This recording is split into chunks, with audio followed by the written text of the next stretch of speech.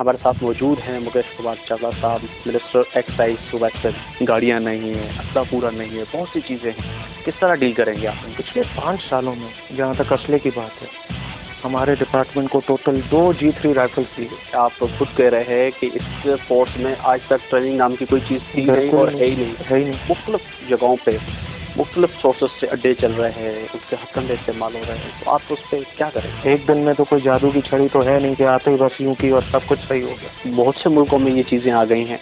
हमारे पास वही तवील लाइनें लगी हुई हैं वही चीज़ें हैं। तो आप कैसे खत्म करेंगे? अब आप लोग आम शहरी जो आते हैं उनको तो कई घंटे मगर साहब ये लग जाते हैं कि हमारा काउंटर असल में है कौन सा? जाना कहाँ है किससे मिलना है? जी आप जब यूनिवर्सल करेंगे तो उसमें आप किसी भी काउंटर पर चले जाए ना। सिविक सेंटर के अंदर जाएँ तो एम्प्लॉयड कम एजेंट ज़्यादा बैठे होते हैं एडमिट करता हूँ। वो इस तरह महसूस होता है कि वो एक्साइज के और के वो मैं तो ये चीज़ प्यार है मैं उनको फाइलों का तक पता होता है कि फ़ाइल कौन सी कहाँ है। सर ये चीज़ तो मैं एडमिट कर रहा हूँ।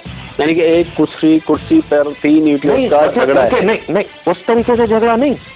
जगह की वजह से झगड़ा। जैकमाबाद और बलूचिस्तान की जो हमारी सरहदी पट्टी लगती है वहाँ से एक बड़ा क्राइम होता है और क्रिमिनल पट्टी भी है वो कहा जाता है। बिल्कुल। अब वहाँ पे अमूमन हमने ये देखा है कि जो सिपाही मौजूद होते हैं उनके हाथ में तो वेपन होता ही नहीं है। डंडा होता है। अब बेहतरी की तरफ़ जाएँगे इंशाल्लाह। उम्मीद पर दुनिया कायम और इंशाल्लाह हम देख रहे हैं कि ये चीज़ आपको with in two three month ये रिज़ल्ट आएगा।